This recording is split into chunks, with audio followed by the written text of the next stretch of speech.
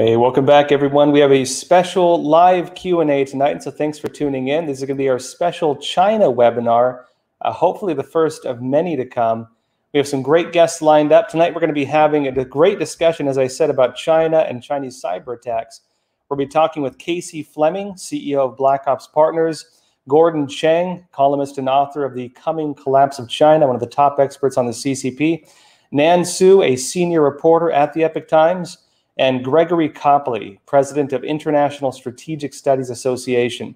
So, folks, get ready for it. We're going to be going into this in just a bit.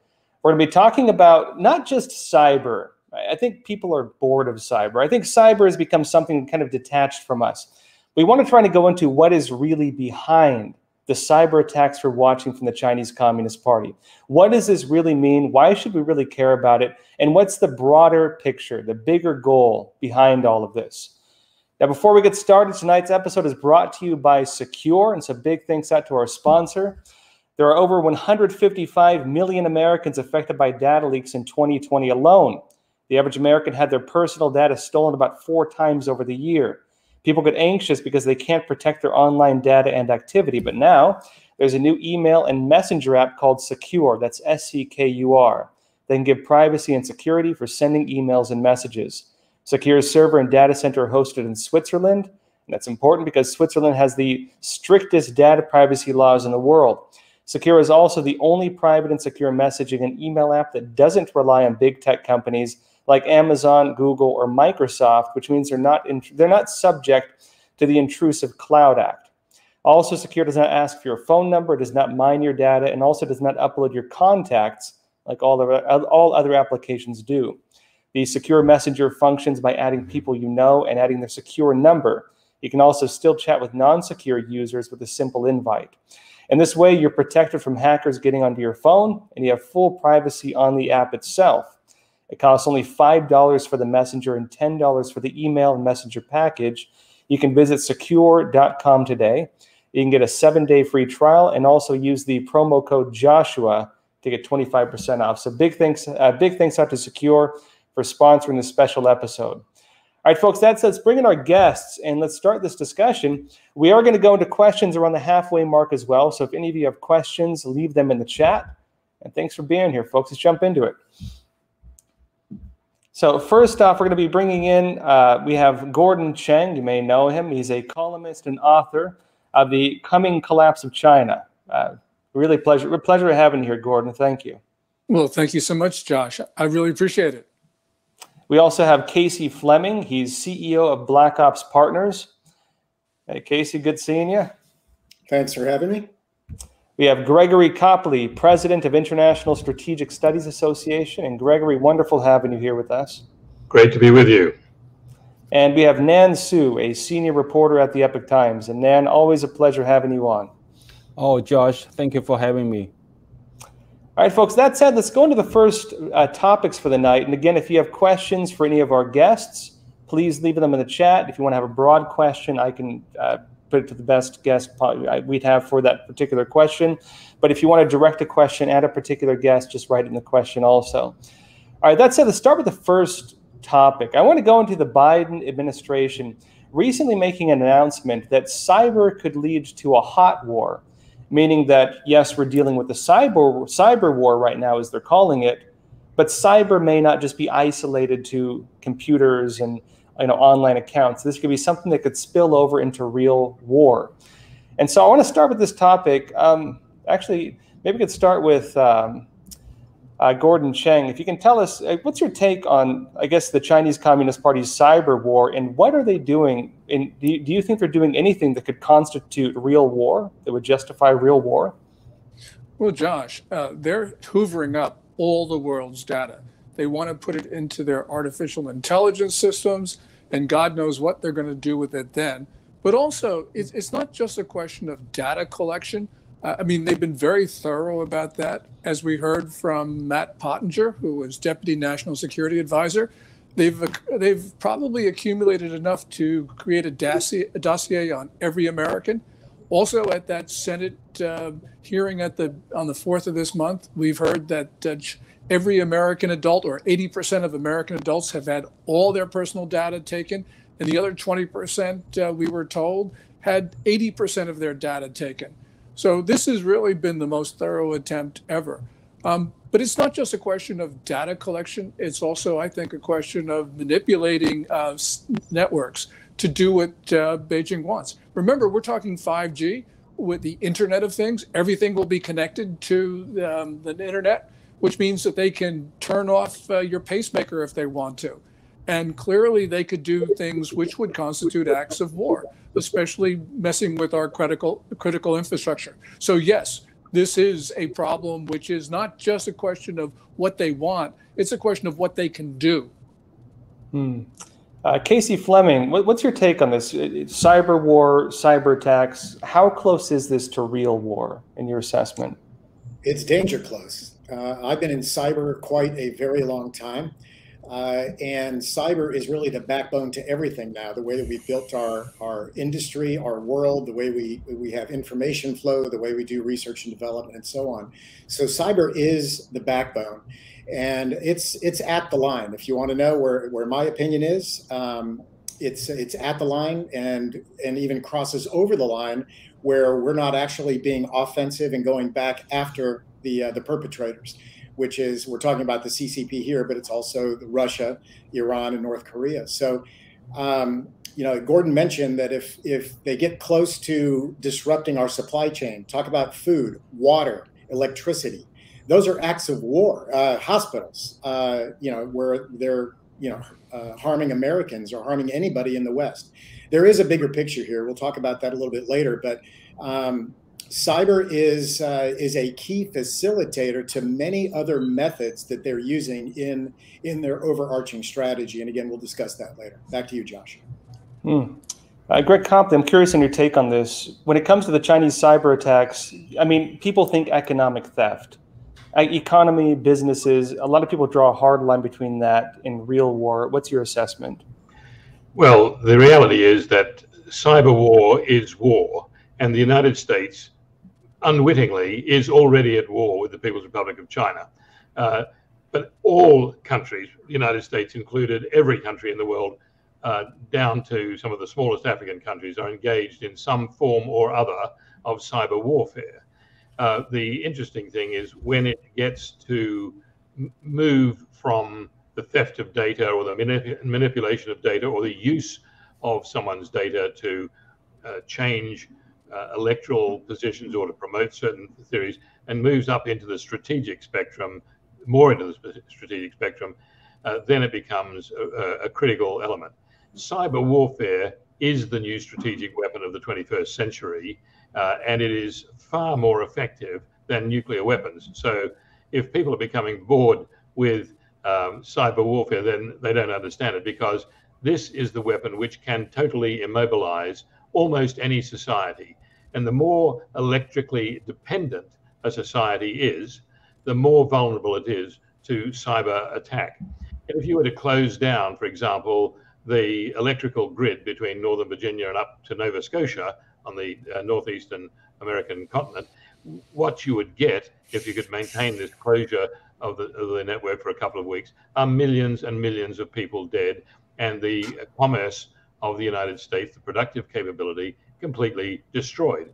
This would uh, not be the equivalent of an electronic Pearl Harbor. It would be uh, an order of uh, 10 orders of magnitude more significant than Pearl Harbor because it would be most difficult uh, to, for the US to recover from that. So the US itself obviously is considering offensive operations and has already uh, has those capabilities in place. Uh, and it is this race which is uh, if you like, the new arms race of the 21st century. The reality is that we're in a new era of warfare these days, which is uh, not one which is restricted to military confrontations. If the People's Republic of China gets into a military confrontation with the United States, then it has already lost the war because that, it, a conventional military war is not the kind of war which the PRC has the strategic depth to survive.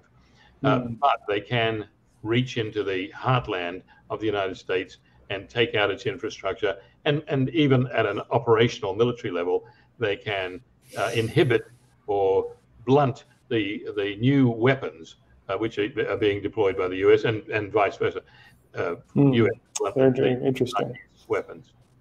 Yeah, uh, Nan Su, I know you have a lot of insight into how the kind of the say the inner workings of the Chinese Communist Party from a lot of your reporting. You have, of course, a lot of insights into how the CCP works and how the leaders of it think. In your assessment, how does the Chinese Communist Party regard this, and, and what is kind of the underlying story, would you say, behind cyber warfare? Well, cyber warfare belongs to what Chinese military call as unconventional and unrestricted warfare. The Chinese military started uh, researching on this subject and how to do this kind of war against the Western world uh, in the late 90s. Uh, so they already have a book published uh, in the 90s. So think about this. Uh, they have been launched this kind of a warfare against the Western world ever since the 90s. And you know, most of the people living in the Western world didn't even feel it, didn't even know about it. So um, uh, besides the power grid, they can also launch their attack directly to our like a, a, a missile system or space program, um, our nuclear weapon system you know that that really going to uh, um, impact the capacity of uh, U.S. military.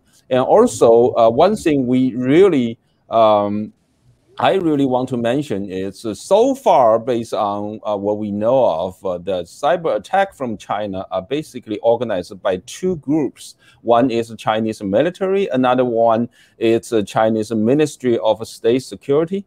Um, now, Here's very important.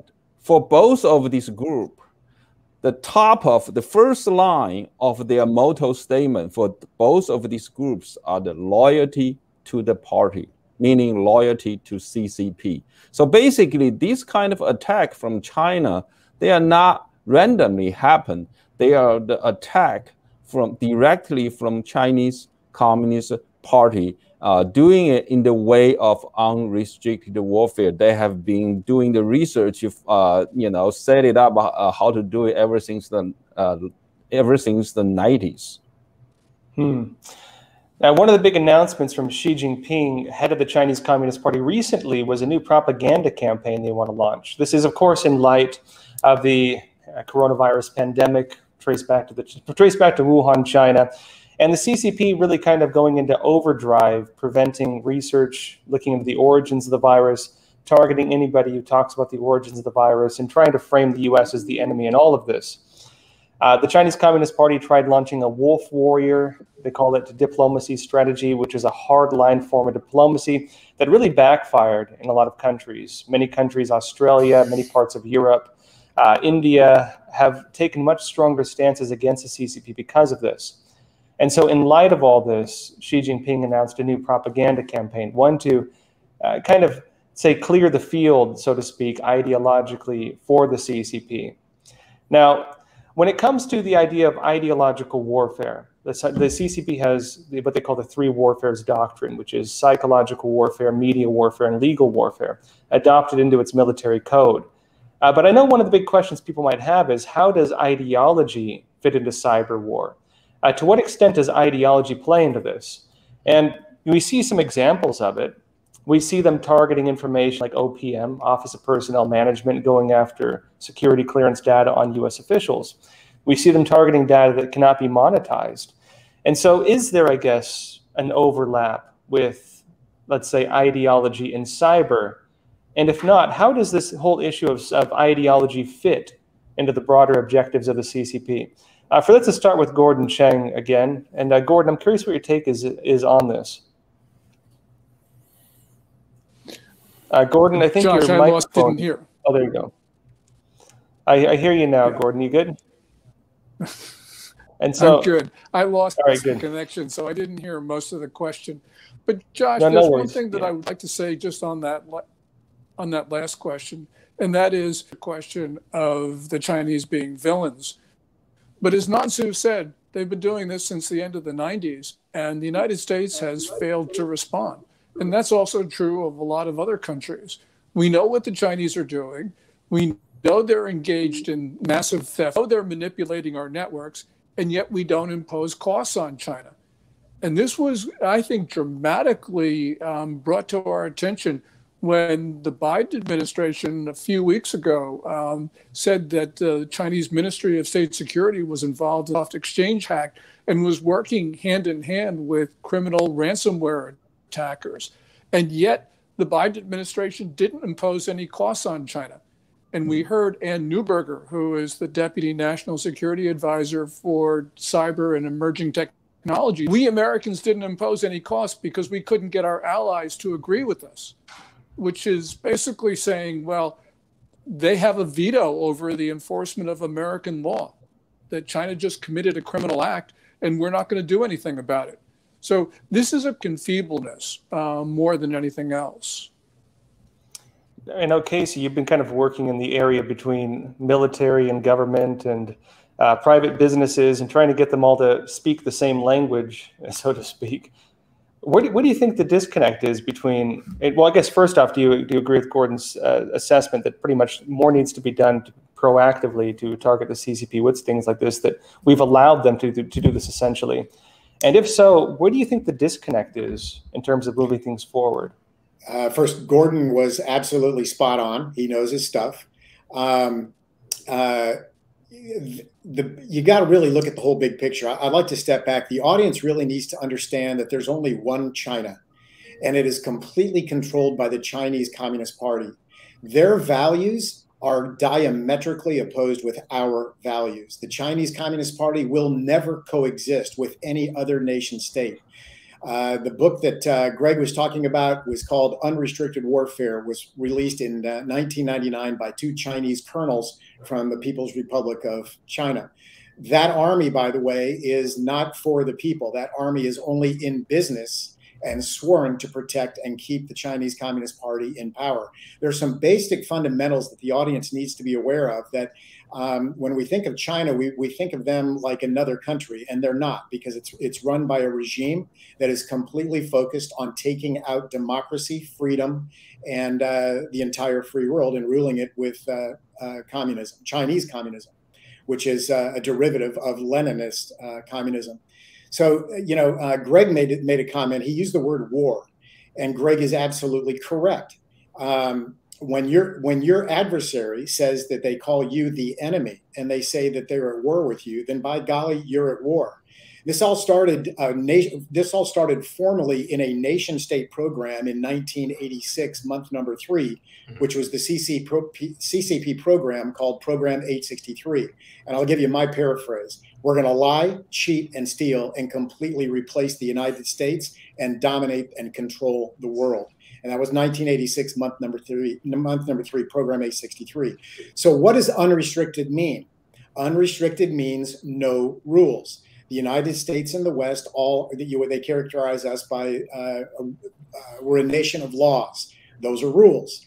The Chinese Communist Party says those are your rules, they're not ours. We don't have any rules. We have rules for our country, our people, and if you're going to do business in our country, you're going to do things our way. And that's what our that's what our American companies are being forced to do with our data, our information, which is our own personal information, as well as our corporate IP, intellectual property, research development, and so on. So those are some basic framework. Uh, uh, elements that I think the audience needs to be aware of, of really who we're dealing with here. Uh, for those of us on this panel, you've got an esteemed panel here. I've been doing this more than a decade, and I'm, I can probably tell you the rest of these guys have been doing it longer than I have. So um, it's very serious, and it is war, and it's a war that we're not familiar with. And the United States and the, our Western allies all believe war to us means conventional warfare. That means uniforms, troops, uh, guns, planes, ships, and all that that is not the kind of war that uh, that our enemy is focused on. Yes, I use the word enemy and a war.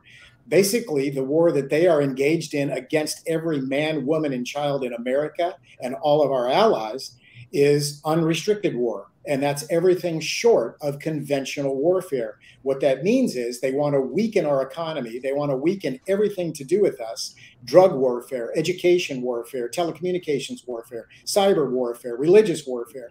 There's literally over 100 different methods of unrestricted hybrid warfare that I think that the audience needs to be aware of. So sorry to uh, to give a little bit more of a definition of what we're really talking about, but I thought it might be helpful at this point in uh, in this show. Back to you, Josh. Mm. Yeah, great insights. Thank you, Casey.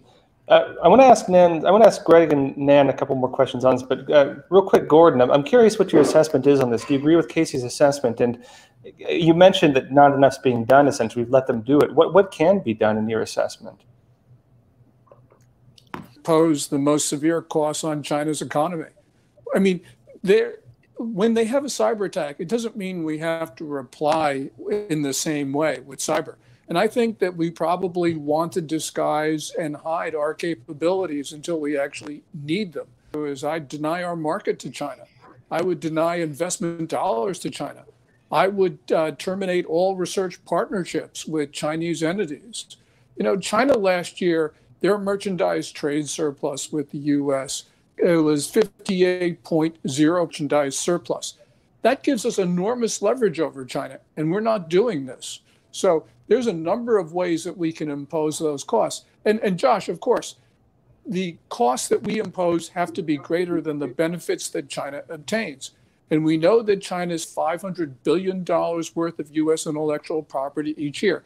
That is the assessment of John Ratcliffe when he was director of national intelligence. So that means that our costs on China have to be at least $500 billion a year and probably more to have an effect doing what they're doing. Hmm. Yeah, thank great insights. Thank you, uh, Greg Copley. I know you, of course, do a lot of research on military. Um, interviewed interviewed you to some of your offices before. You have, of course, ex extensive knowledge and huge collections of books on this stuff, and I, I think have good insight tying traditional military into modern uh, forms of military issues. When, when it comes to how we should respond to what the CCP is doing, I, I think uh, Gordon makes a good points that you need you can't just respond in like essentially and you need to make sure that not only are you mitigating or negating what they're gaining from it but even doing something to punish them to some degree to make sure they don't keep doing it. What do you think can be done? Well first you have to understand what kind of war you're in. Uh, you cannot win a war if you don't know a war is being waged against you and it's very difficult to win a war uh, even if you know something's happening but you don't understand the context and rules of that war. Now, it doesn't mean to say that you have to fight the same kind of war as your adversary, uh, but in the case of the People's Republic of China, they understand that their best form of warfare is this new total war, this amorphous war in, in which they engage all segments of society against all segments of Western society, particularly US society.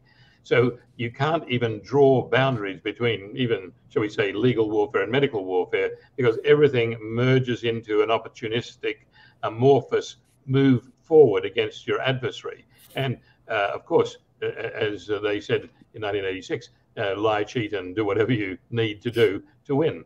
But we have to also look at what this new uh, form of warfare entails, and it's been evolving, particularly since the early 21st, uh, 20th century, uh, with uh, the electronic movement of propaganda and signals and signals intelligence.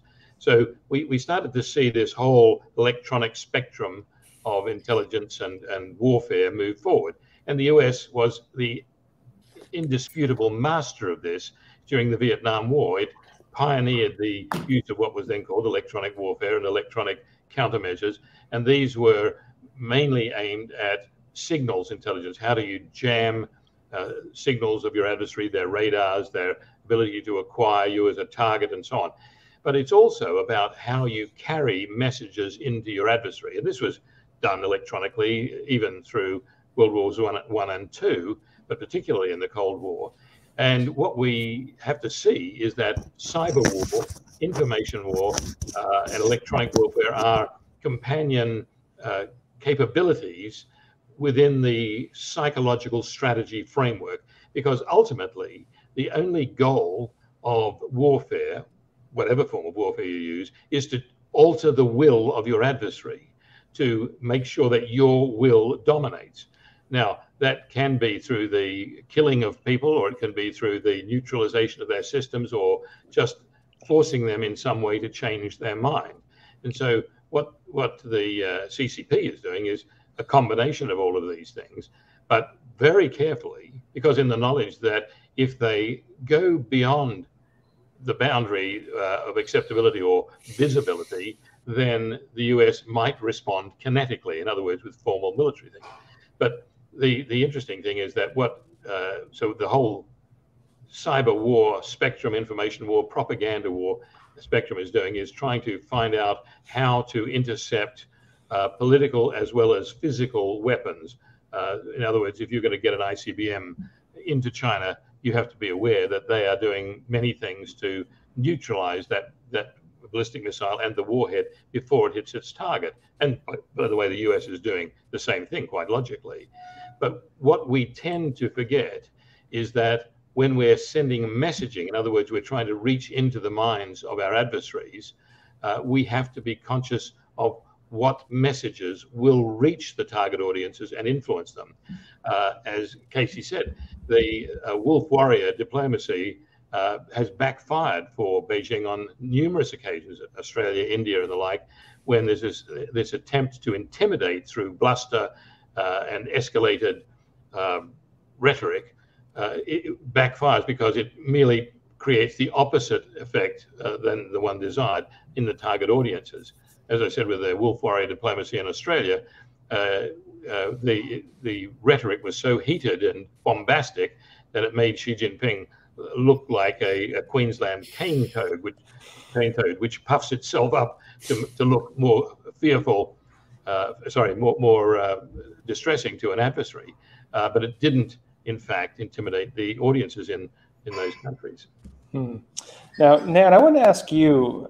We talked about unrestricted warfare and kind of the broader picture on this. I, I want to go into a bit on the ideological element behind all this because as uh, Greg Copley noted, I mean, great analysis on this. As, as you noted, that the ideology and psych, the psychological element plays a huge role in this.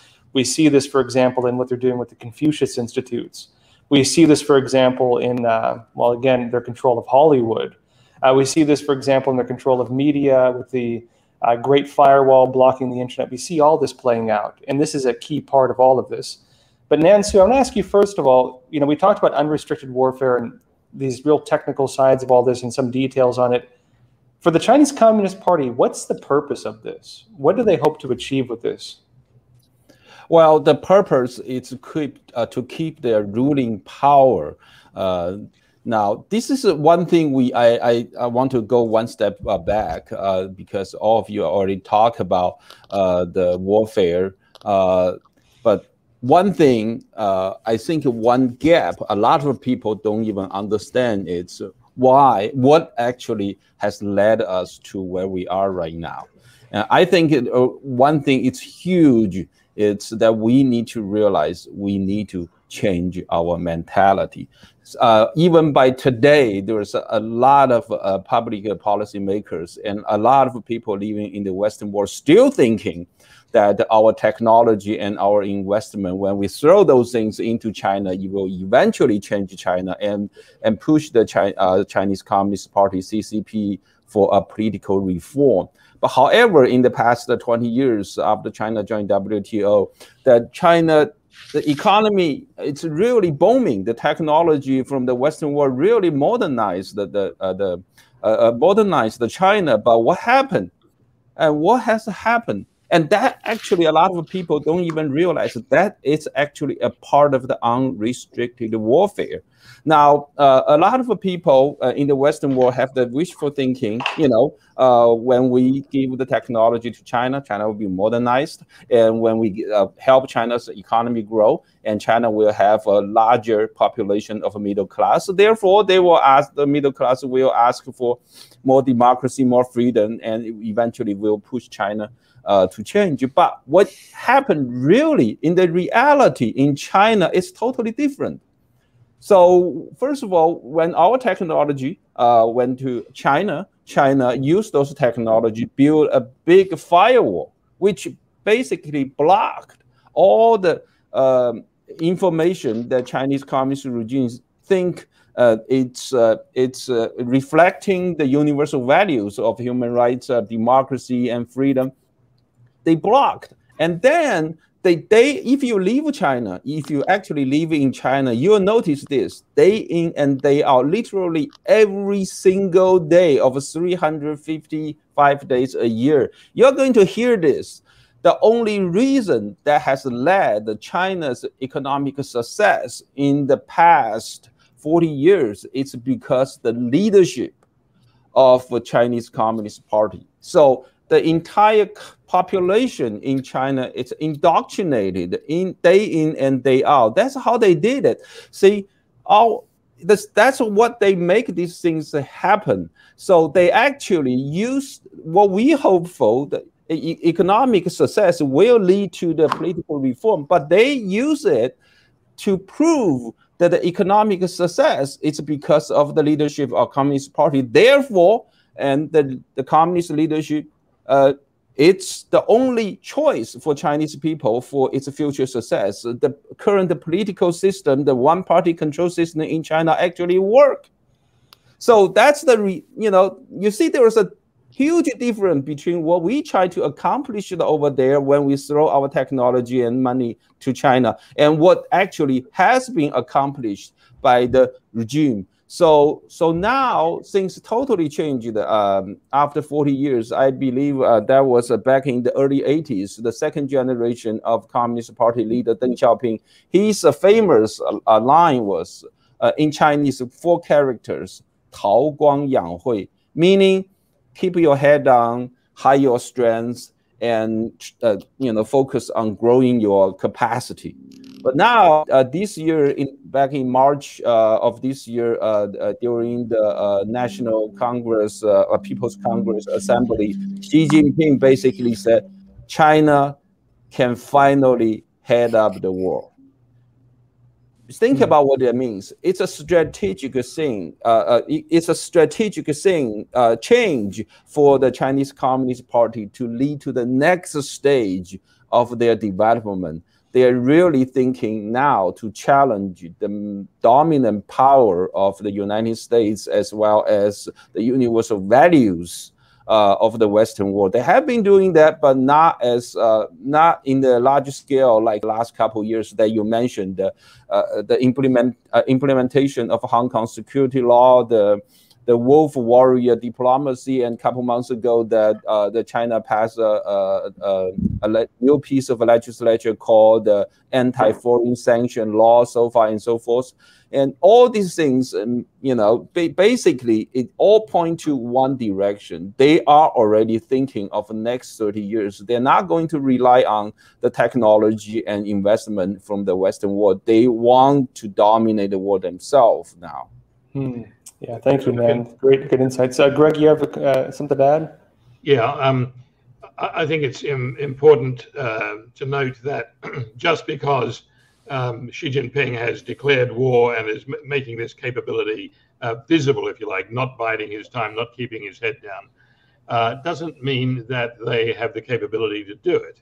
Uh, the the reality is that as the situation becomes worse economically in, and, and socially in the People's Republic of China, the CCP becomes more vocal and more vociferous.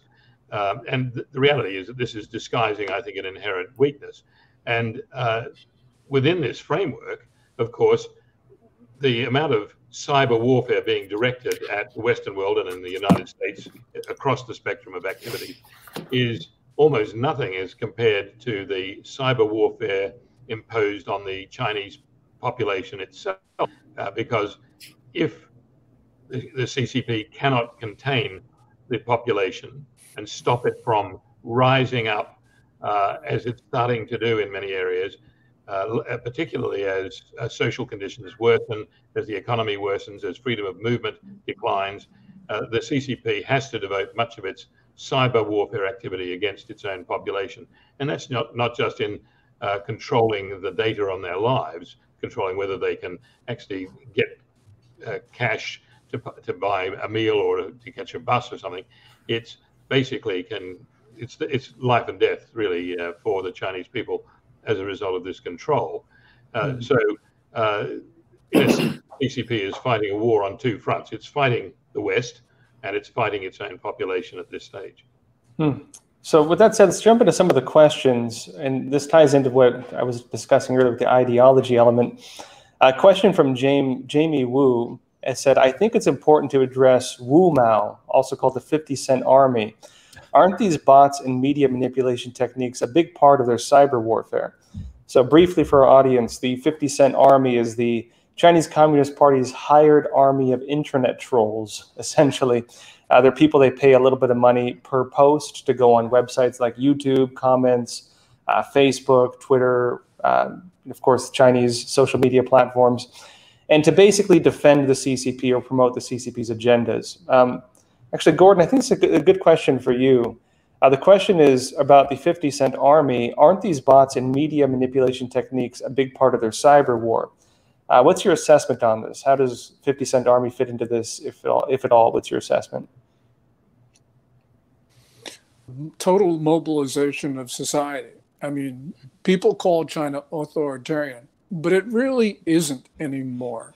it, it is really semi-totalitarian right now, and the 50 Cent Army is very much a part of that. That uh, they're using people, um, mass numbers, to accomplish propaganda goals and, and we shouldn't be surprised because we've seen um, Xi Jinping move China back to a total control society. You've got the uh, Great Firewall, as somebody mentioned. We have now a that'll be put in place that'll give everybody a score based on observed behaviors. Um, there's 626 million surveillance cameras. Uh, you put all of this together and, and shows that China is moving towards something that Mao Zedong would be familiar is, you know, what, what uh, Xi Jinping has talked about, that he has absolute control over the Communist Party and the Communist Party has absolute control over society. So, yes, they need propaganda is very important. Just one other point. We, we don't really, we sort of dismiss propaganda as unimportant um, but no, it's not. If you're an insecure leader of a semi totalitarian society that has all the problems that Greg is talking about, propaganda is absolutely critical. It's, it's and so, you know, we've seen many instances of uh, Beijing mobilizing people um, to uh, propagate their narratives. And, and this is everything is, is critical right now. And that's why you have the 50 Cent Army Plus, you have a whole bunch. Beijing is trying to control not only the narrative inside China, but the narrative outside of China as well. Hmm.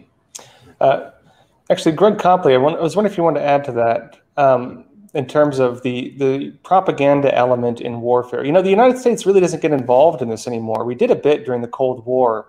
This kind of telling the American story was our approach. Uh, they actually recently changed the laws in the United States, making it so the government can actually engage directly in using propaganda, but we don't really think of it as a, as a weapon. We don't really think of it anymore as as a tool. We hear disinformation and misinformation and Russian trolls and all this stuff, but we don't think about how we could use it. How does propaganda and psychological warfare fit into warfare, especially as it relates to what the CCP is doing? Well, psychological strategy Ideological warfare is the primary strategic carrier weapon. It really is what you need to to do in all phases of warfare. Uh, you don't just move militarily; you move militarily when you have to, but in a context which creates an impact before the forces actually connect. Uh, so, as Sun Tzu would say, uh, to to win a war without fighting is the acme of success. But what what we see, and the United States is definitely engaged in information warfare, psychological warfare, and propaganda to a large degree. Not doing it, I think, as well as it could. Uh, Voice of America today is, for example, literally a propaganda tool because it comes under the State Department, and they are careful about how uh, how they shape their messages. Before uh, VOA was uh, not attached to uh, State Department, and it was actually much more credible but you've got uh, a number of mechanisms like that, and every country does. And we have to think in terms that in both the military and civil and strategic spectra, the um, psychological warfare and propaganda comes in three basic grades white propaganda, gray propaganda, and black propaganda for psychological operations. White propaganda is what the government says and is seen to be saying a grey propaganda is where the, the 50 Cent Army comes in, uh, trolling through and, and doing stuff on behalf of the party. You can't say it's the government or the party doing it, but you know that this is part of the overall national endeavor. And black propaganda is perhaps the most effective because you cannot trace its roots and you see information coming out in a tangential way often, which leads your audience to a conclusion which you want them to, to reach, which may not be to their benefit.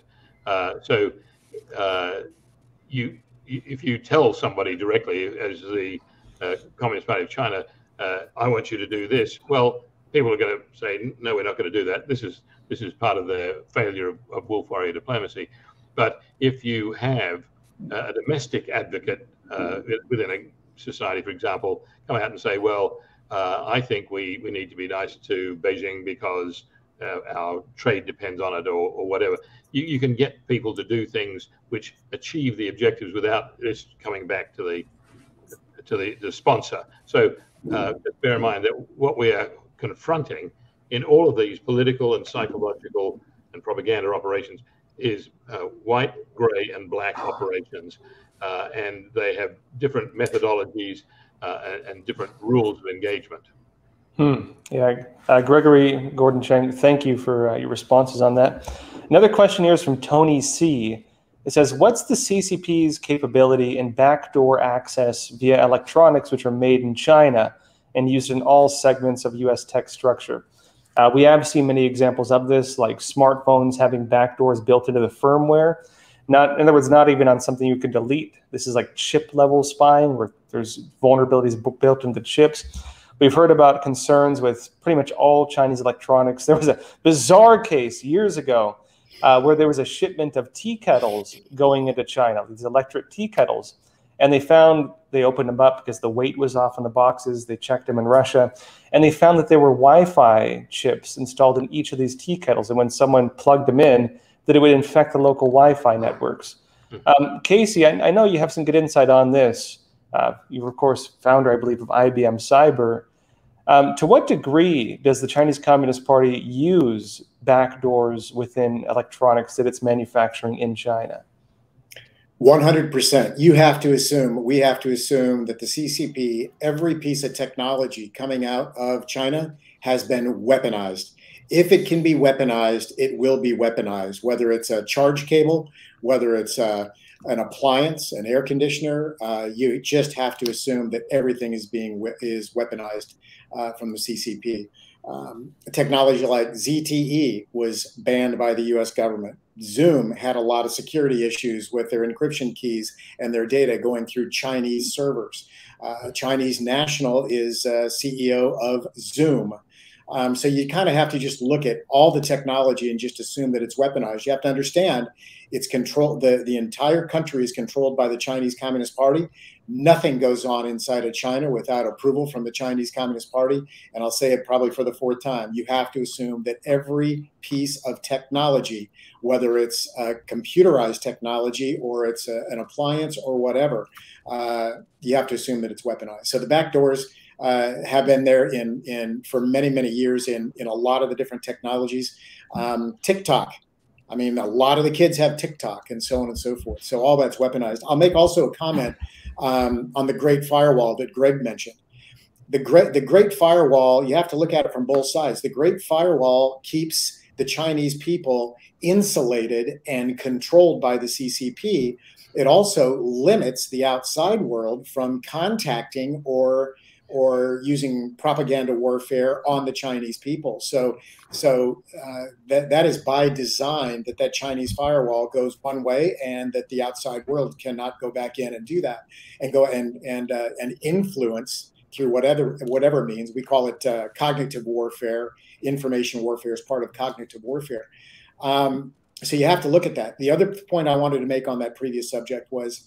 Um, there have been studies over 85% of all US social media is fake news or false and it is being driven by you mentioned the 50 cent army. Those are individuals in that 50 cent army but also the 50 cent army has engaged or is engaged with with network bots. In other words artificial intelligence to make one person look like 50,000 people. So you kind of have to look at really what's going on and what our our teenagers are seeing, what our our our uh, our husbands, wives, families, companies are all seeing on social media that at different tests at different times has been up to 85% information or cognitive warfare. Back to you, Josh. Mm. Yeah, thank you, Casey. Uh, another question here is from Anthony Coolit. It says, How do we counter China's propaganda circulating among the overseas Chinese in other countries, especially in Southeast Asia? Uh, Nan, I think you'd have good insight into this. Um, you know, one concern I've heard raised by a lot of uh, Chinese Americans here in the US is they've observed that a lot of Chinese youth and even a lot of times people leave China and they come to the US.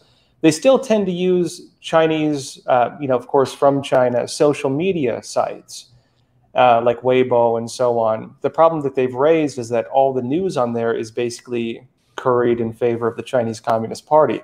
And so even though they're outside of China, all of the information they're consuming, all the discussions they're having, everything they say is still censored according uh, to what the Chinese Communist Party once said or not said. And so the question here again is um, how do we counter China's propaganda circulating among the overseas Chinese in other countries? They say especially Southeast Asia, but I would assume it's pretty much the same issue everywhere. Uh, Nan Su, what's your what's your take on that? Uh, I think the the the most the straightforward answer is to tear down China's firewall.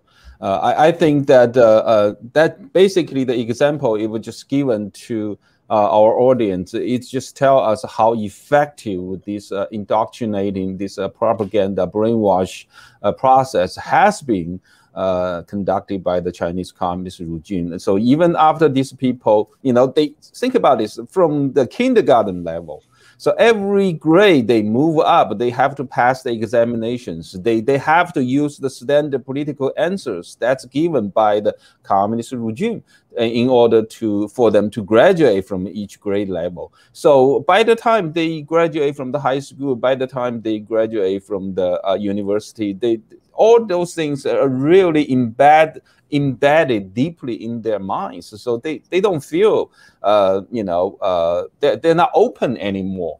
So uh, I, I think uh, that, that they need to be a uh, certain way uh, building in our public policy uh, to really because this is uh, totally against the spirit uh, of internet. It's supposed to be freedom of information. If we want to um, send our technology to China, we suppose uh, you know, to really help the freedom of the people uh, in China, uh, help the freedom of information. We're not supposed to uh, let our uh, we're not supposed to just close our eyes and let our, our technology used by the communist regime really uh, indoctrinate a Chinese population over there. You think about there's a huge population there, which is also a part of the calculations. If you think the Chinese regime it's uh, it's doing a warfare against the Western world, uh, you need to count on. See, I I, I say you know if you um, compare Chinese communist regime today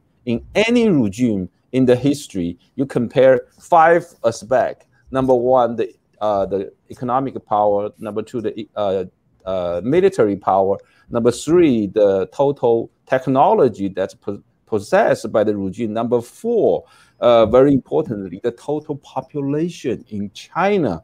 And number five, of course, the history of killing its own people. Uh, and you, you compare this regime with any other regime in the history of mankind, you wouldn't find any uh, other regime in the history of mankind will even even come close to what uh, the, the kind of danger the Chinese communist regime has imposed to today's world. So tear the tear down the uh, firewall. I think it's the most straightforward way to deal with uh, all these unrestricted warfare, uh, especially the information warfare and propaganda warfare.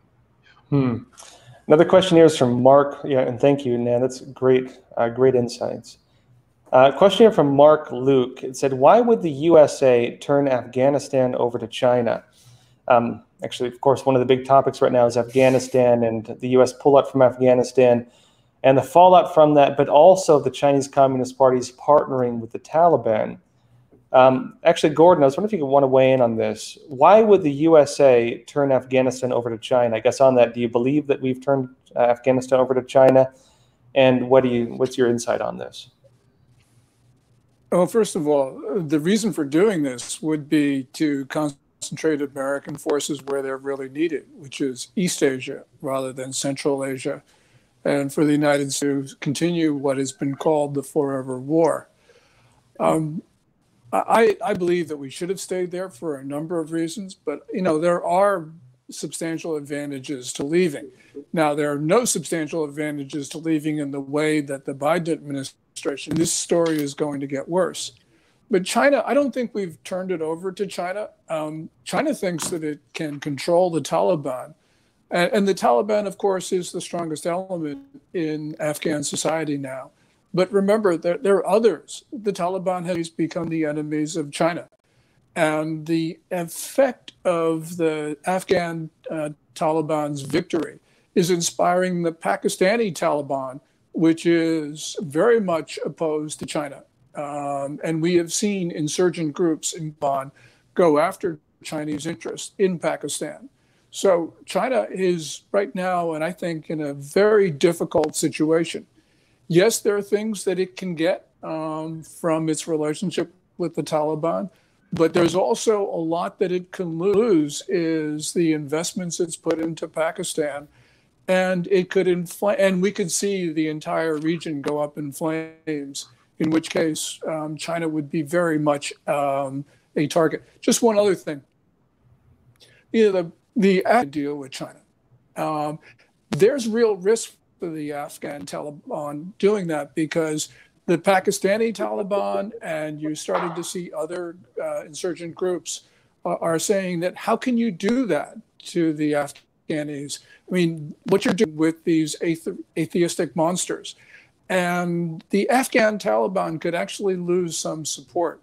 It could lose support to um, the Pakistani Taliban. It could lose support to some of, you know, ISIS, Al Qaeda. Who knows? I think a big scrambling in the region right now, and I'm not sure that China is actually going to um, benefit because Beijing now has to do something that it's never done before, which is to manage a very difficult security situation outside its borders. Hmm. Yeah, great insights. Uh, Greg Copley, I was wondering if you want to respond to that.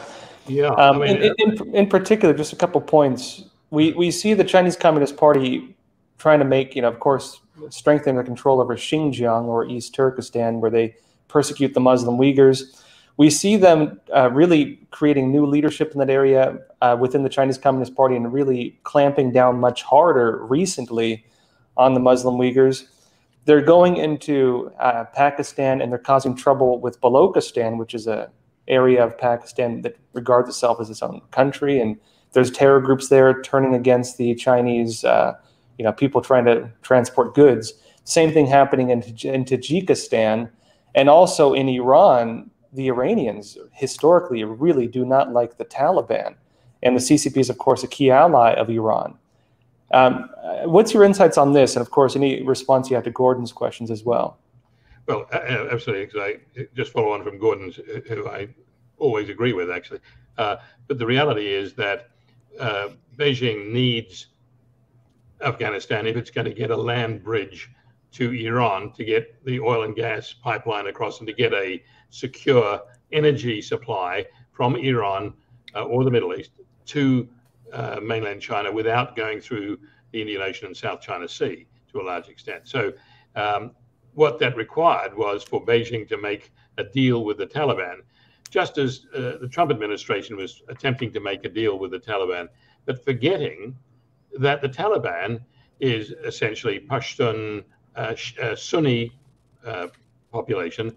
And the other great component of Afghan society, of course, is the Shia, uh, Tajik, and Dari speaking, Persian speaking element of society. So when either the US or the, or the PRC were trying to do a deal with the Taliban, the reality was that they were never going to get the kind of peace they required over all of Afghanistan because they could, if they got the Taliban, they wouldn't get the, the Northern Alliance groups of Tajik Dari speakers and the like. What Beijing hopes to do is to say, well, Beijing will placate the Taliban and the Pashtun, and Iran will somehow placate or deal with the Dari speaking Shia groups so that between them they'll cobble together enough stability to get a pipeline across the country. That may or may not work because uh, although we, we see that the Taliban has created the Islamic Emirate of Afghanistan, the reality is that the former government of Afghanistan has not gone away. Yes, uh, President Ghani has, has fled the country with lots of money, but his first vice president uh, basically is now the acting president of that uh, Afghan government, and he uh, he's a Tajik Dari speaker, and he's now associated with the Northern Alliance group of Ahmed. Uh, um, oh, sorry, got a mental block. Uh, but the uh, but the, the old the son of the old Northern Alliance leader, and they have taken the Panjshir Valley, and they're moving down into other areas, including around Kabul right now. So we've seen the revival of a civil war, which is something, as Gordon said, is going to be difficult for Beijing to manage and control. At the same time, what it's done is it's uh, it's caused the Central Asian states uh, to be both anxious about the People's Republic of China because they don't believe that the Belt and Road Initiative is working for them, but they're also concerned about a resurgence of uh, Taliban-led insurgency coming up into the Central Asian states, particularly uh, into Uzbekistan. So what we've seen now is that this, the Central Asian states have abandoned the hope which President Trump gave them that they would get a stable route to trade to Gwadar port and in the Indian Ocean and escape from the controls of either China or or um, Russia. But now they're forced back into a reliance on on Russia. Um, uh, I think it was Gordon who's quite right in mentioning the uh, Baluchistan situation. Baluchistan situation is critical because Baluchistan actually uh, covers part of Pakistan, including the port of Gwadar, which the uh, People's Republic of China built at great expense. It also is an Iranian part of Baluchistan and an Afghan part of Baluchistan. And they are notoriously uh, cranky and they, they, they kill everybody, including all the Pakistanis and Iranians and so on. So uh, it's a very volatile uh, area which on which uh, Beijing is relying. Yeah, great, great insights. Actually, Nan-Su and then Casey, I want to, I want to talk to you both a bit about this. Um, Nan-Su, I'm curious now. The Chinese Communist Party, of course, brutally persecutes Muslims in China. We can see this in uh, uh, Xinjiang, also called East Turkestan where they've put really strict social control systems in place. Uh, but somehow the Chinese Communist Party still makes friends with these totalitarian Islamist regimes. Uh, regimes, uh, really, and they seem to turn a blind eye to the CCP's human rights abuses, including genocide, now designated as such by many parts of the world, including the United States.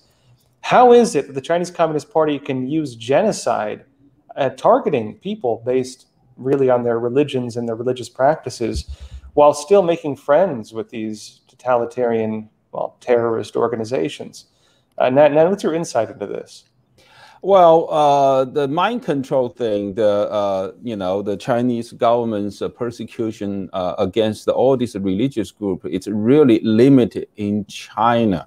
So because uh, if you know that's the fundamental thing they will do. They will control everybody's mind, uh, so that you are not going to have even have a thought uh, against the regime. That's the fundamental way the regime will keep its own stability.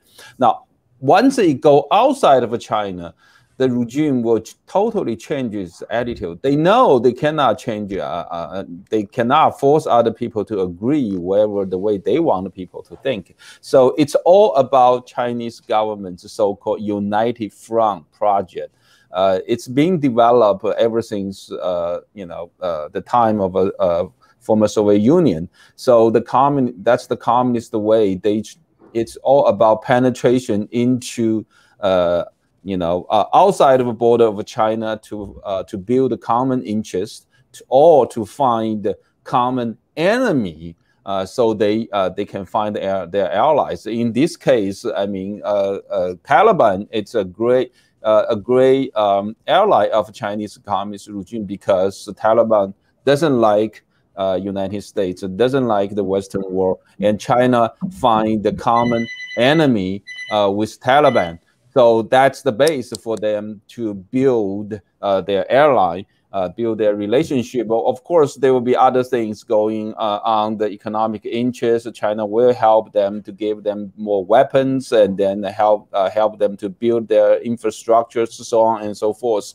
But it's really the common uh, enemy that's the base. Uh, for the uh, Chinese government and Taliban to start their relationship. Hmm. And uh, last one on this, so Casey, I was, and thank you, Nan Su. That's great insights as well. You know, Casey, we hear about all these things. We hear about China working with the Taliban. We hear about, I think, of course, people are concerned about the humanitarian element of it, but a lot of people also feel this may be far from them. That what happens in Afghanistan with China is China's business, and uh, maybe doesn't affect us in the long term. We are hearing talk about potential terror attacks and new threats now from the Taliban, but they're saying they're not going to do it. I guess for the average American, what's your assessment on, you know, why should we care about this? What's your assessment on this in terms of how the CCP is getting involved here? Uh, all of it is closer than you think. It's closer than we think.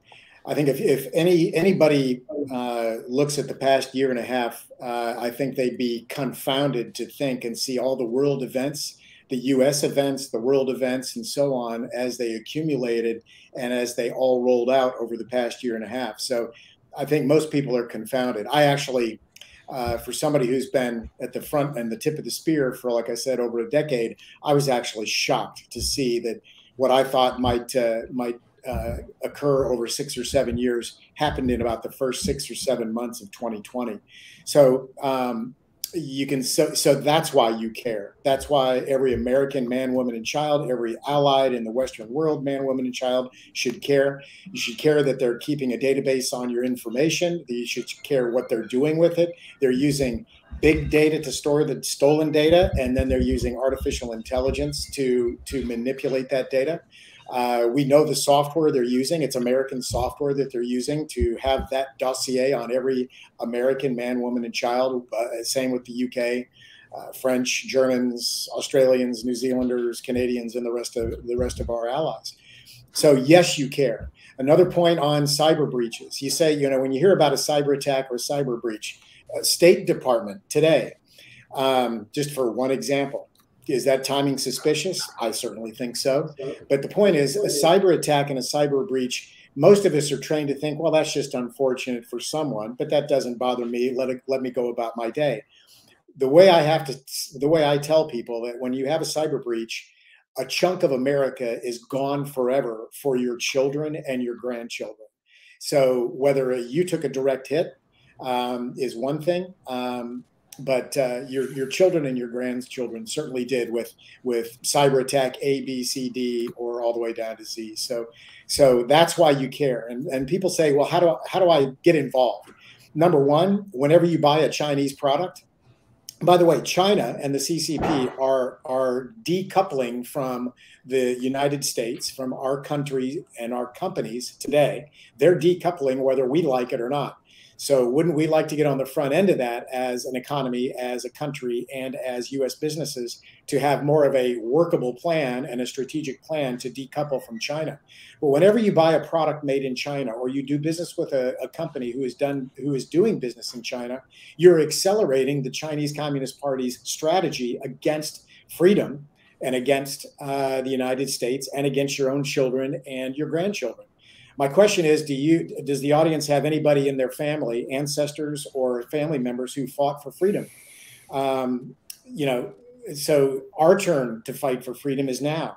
Every American is on the front lines. It's not our military on the front lines. It's every American citizen and our allies are on the front lines today. So that's why you care. Um, you know, what can you do to get involved? Put congressmen and congresswomen in who are aware of this this threat, of this risk, of this war, and want to do something about it. So, so vote people in that are going to do something about it. Look at where you're buying products. You know, try not to buy products from China to accelerate the Chinese Communist Party strategy. Um, you know, try to find those products from an allied country or the United States. So, um, in a nutshell, that's why you care. Back to you, Josh. Hmm. Thank you, Casey. All right, well, last question here is from Elizabeth Valenzuela. This is for Gordon. It says, uh, Hello, Gordon Chang. Thank you for all you do. I need to read one of your books. so, can you tell me which one to read first? Well, I really wouldn't read the books. I'd just go on my website where I, art, I archive my articles for free um, because things are changing so fast. And that's the real dynamic right now for us to keep up with what's occurring.